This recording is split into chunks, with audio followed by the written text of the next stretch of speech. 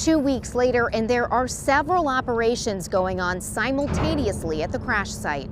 We're working around the clock with uh, federal, state, local partners to try to get this port open as quickly as possible. That much is clear when you get up close to the wreckage of the Key Bridge. The U.S. Coast Guard says they've made significant progress removing parts of the bridge and clearing debris under the bridge, but there's still a lot of work to be done.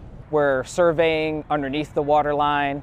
We're also removing parts of the, the bridge, the debris that you can see, uh, and cutting that above the water line and uh, we're also engaged in obviously trying to find uh, those victims that are still underneath the water.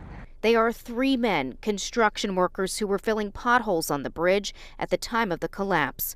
Rescue crews think they know the general area they're in, but are having trouble getting to them. It's a complex operation that requires a lot of uh, surveying and because uh, there's a lot of debris underneath the water line and we want to make sure the first responders who are diving uh, to recover those individuals are safe as well.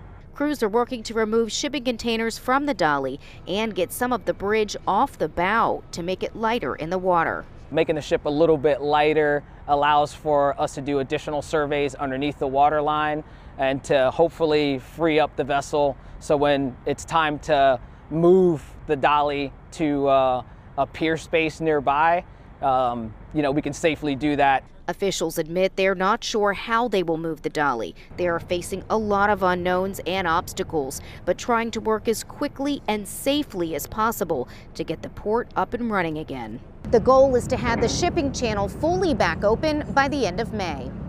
On the Patapsco River, Kim Dacey, WBAL, TV 11 News.